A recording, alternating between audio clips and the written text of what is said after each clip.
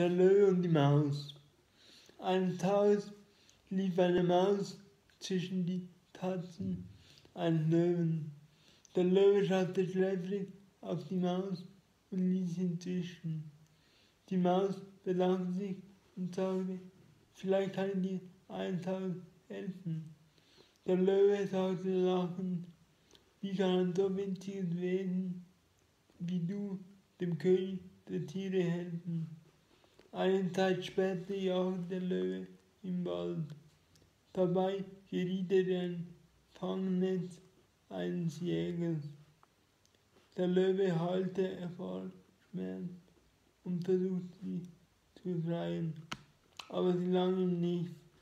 Alle Tiere des Waldes kamen herbei, aber keines konnte den Löwen helfen. Da hörte auch die Maus das Gebrüll des Löwens. Schnell kam sie gelaufen und begann in ihren kleinen, spitzen Zähnen die Schnüre des Netzes durchzubeißen. Sie nagte und nagte, bis der Löwe befreit war.